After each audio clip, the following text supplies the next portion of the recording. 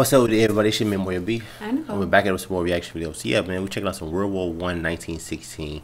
Um, stuff is getting pretty crazy and intense. Still a direct to it. War One was supposed to have been a short and glorious war, Huh.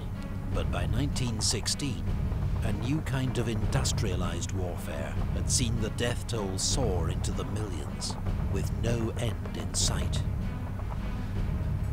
Naval blockades were beginning to cause shortages of food and fuel across Europe, Yeah. Uh, while thousands of women had entered the workforce, replacing the men sent to fight in their millions. mm. All sides were preparing for a long war.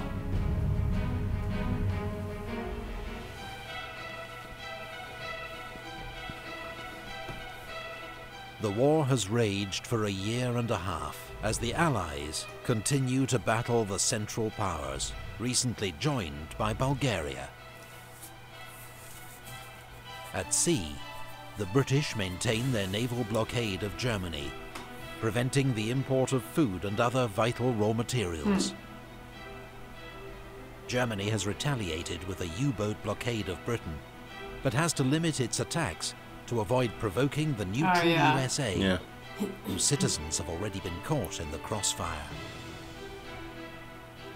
On the Western Front, French, British and Belgian troops are dug in opposite the Germans, both sides trapped in the bloody stalemate of trench warfare. On the Eastern Front, the Russians have ended their long retreat and stabilized the line, but their army has suffered huge losses. On the Italian front, Italian troops have launched a series of costly, unsuccessful attacks hmm. against strong Austro-Hungarian hmm. defences.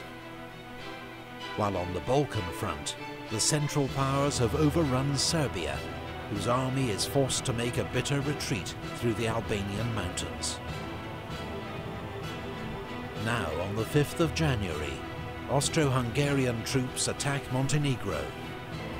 They are delayed at the Battle of Mojkovac, but three weeks later, Montenegro is forced to surrender. Hmm. Hmm. On the Caucasus front, the Russians launch a surprise winter offensive against Ottoman Turkish forces. Six weeks later, Russian troops occupy the city of Erzurum. In April, they capture the Black Sea port of Trebizond. Yeah. Meanwhile, the British transport two motorboats to Lake Tanganyika in Africa. Okay. They finally arrive after a 10,000 mile trip by sea and land hmm. It's a and help the British trip. Yeah, seize it is. control of the strategic lake from local German forces. Oh, like Tanganyika. The same month, in German Cameroon, German troops besieged on Mora Mountain for 18 months finally surrender to the Allies. It hmm. marks the end of the Cameroon campaign.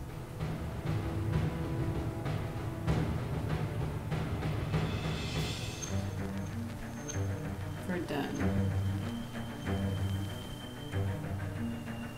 On the Western Front, the Germans unleash a devastating assault on the French fortress town of Verdun. German General Erich von Falkenhayn knows France will defend this symbolic town to the last man. Hmm. His plan, in his own words, Gonna use it as is to decoy? bleed France white in its defense. Who said bleed? France white. It is the strategy of attrition. Verdun becomes one of the most terrifying battles of the war, Wow. a mincing machine.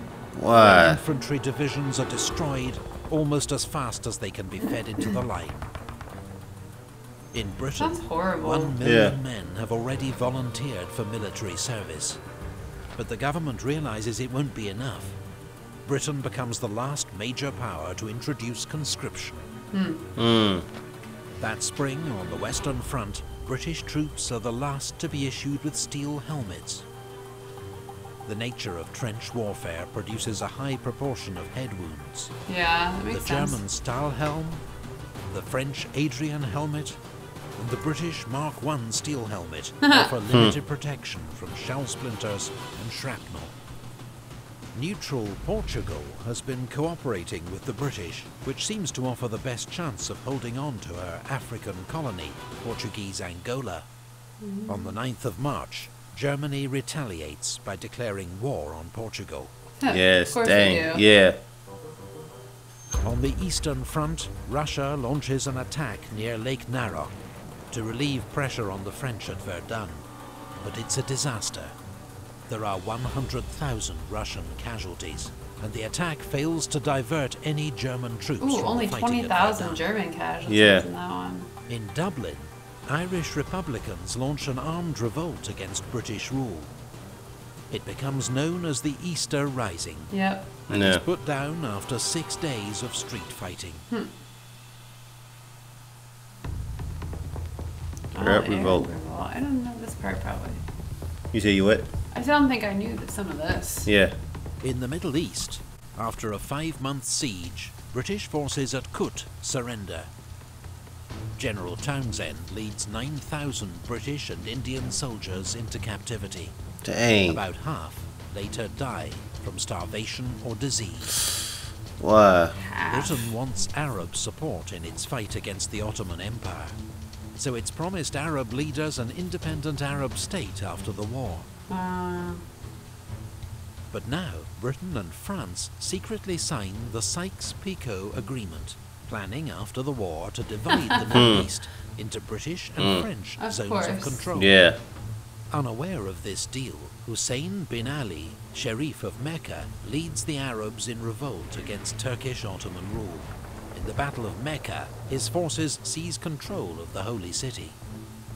huh. On the Italian front, Austro-Hungarian forces launch a surprise attack at Asiago. Italian defences give way.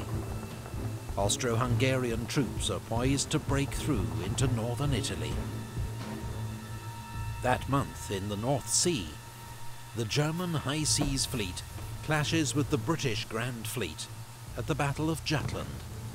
In the only major naval battle of the war, the British suffer heavier losses, but claim victory as the German fleet withdraws and does not re-emerge from its base for the rest of the war.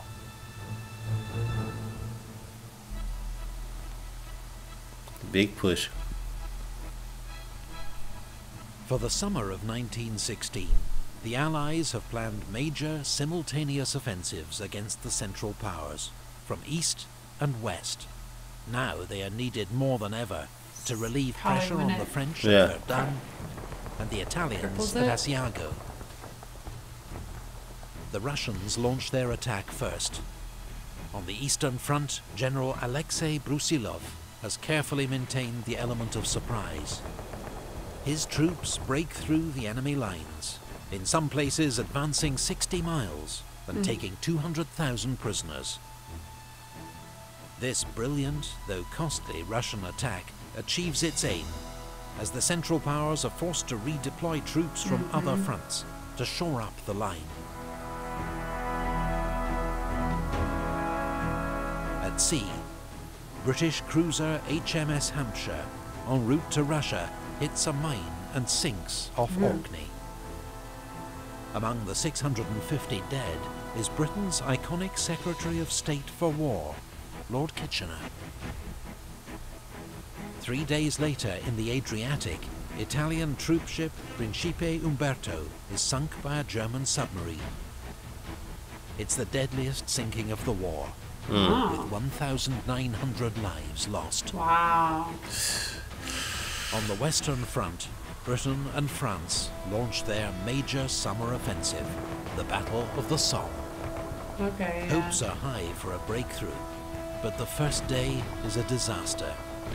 A long Allied artillery bombardment fails to knock out German defences, and waves of British infantry are cut down by machine gun fire Yeah. as they advance into no man's land. In the space of a few hours, the British suffer 57,000 casualties, a third of them killed. Why? It's the worst day in the history of the British Army. Mm. Third of them killed, More man. attacks Yeah. are ordered, and the battle will rage for another five months. Gosh. Romania joins the war. Encouraged by the Russian advance, Romania joins the Allies. But despite an initially successful advance into Transylvania, Romania quickly faces a counter-offensive from German, Bulgarian and Austro-Hungarian forces. The Allied force at Salonika tries to support Romania by launching their own offensive towards Monastir. With Serbian troops in the lead, there are small gains, but dogged Bulgarian resistance prevents a breakthrough. On the Western Front, General von Falkenhayn finally calls off the attack at Verdun. It's crazy how The Switzerland's French right army in the has middle. and honoured still Yeah. their commander getting in the General war. Nivelle's promise. Ils ne passeront pas. They shall not pass. Station now But pass. victory comes at a terrible price. 365,000 casualties. Dang. The Germans lose almost as many. 336. Verdun remains one of the bloodiest battles in human history. Wow. What is it, man? This is For his defeat Crazy. at Verdun, Mm. Falkenhayn is sacked, and Germany's heroes of the Eastern Front, von Hindenburg and Ludendorff, take command in the west. Mhm. Meanwhile, the Battle of the Somme continues. Near the village of Flers, the British introduce a new weapon they hope can break the deadlock of the trenches. It is called the tank. Ah, Mm. I was wondering when the tank successes, came Yeah. in. The first tanks are too few in number, a real impact. On the Eastern Front, Russia's Brusilov offensive comes to an end. Casualty estimates vary wildly, but it's clear both sides have suffered catastrophic losses. Neither the Russian nor the Austro-Hungarian army ever fully recovers. Huh. On the Italian front, heavy fighting rages throughout the autumn. As Italian forces make repeated, costly assaults against Austro-Hungarian positions along the Isonzo River. The Battle of the Somme comes to an end amid autumn rain and mud. Mm. The Allies have advanced 10 miles at the cost of 600,000 Ten miles. That's it. Yeah, that's crazy. German losses are about 450,000. The Allies reassure themselves that this is a winning strategy, because at this rate, Germany will run out of men first. Yeah. Mm. Meanwhile, disaster engulfs Romania as the country is overrun by the Central Powers. Romanian forces suffer a quarter of a million casualties. Yeah. The remnants of its army take position alongside the Russians on the Eastern Front. That winter, Franz Joseph, Emperor of Austria since 1848, dies. He is succeeded by his son, Karl. In Britain, Yeah, it was a great, great nephew, great Ilsen nephew. Yeah, it was is his forced great from nephew. Succeeded by David Lloyd George. While General Joffre is replaced as French Commander-in-Chief by General Nivelle, who promises victory through bold, aggressive action. Amid the comings and goings, US President Woodrow Wilson's attempts to mediate a peace settlement come to nothing. Neither side is willing to make concessions. Neither side. Yeah. Yeah. It's Uh, kind of impossible to get a peace treaty when no one will. Yeah, you know, nobody. Yeah, everybody's fighting each other. Yeah. You can't agree on anything. Um, it was something they said I forgot earlier. I was gonna bring up. Slipped my mind. Sorry. But yeah, man, it's a lot of. Man, it's a, oh yeah, they, they only advanced like ten miles. Oh Which is- yeah. which is All that crazy. fighting and all that time, and they made ten miles. Yeah, ten miles. Mm-hmm. That's crazy, man. Just yeah, nobody even trying to get no peace treaties and all that Nope. type of stuff. People just kept dying, and you know everybody want to strut the ego. Well, because really. I'm sure it's like you know, for Germany to agree, they want this and this and this land or something, and Yep, like France mhm. and England, and they're not gonna. They're like, no, we're not gonna give Yep, you yep. all of this, you know. So Yeah. we're not gonna agree on it. Yeah, but it's definitely um a lot of info, um, informative super information. informative. Yeah, it's super like descriptive and lots, a lot of information put into each video. yeah, it is. I mean, it's just kind of crazy that it's really cool, but like that he breaks down it each year. Yeah. So, yeah. Yeah. But yeah, we about to go to the end of this video. If you want to support our channel, support our channel. Check out the link in our pinned comments. Leave your video questions at our stream lab. Mm-hmm. Keep the videos under 12 minutes. Don't forget to subscribe. And thumbs it up. Turn on notifications. It's your man, MarioB. And Nicole. We're going to catch you on the next video. Awesome. Peace and love, baby.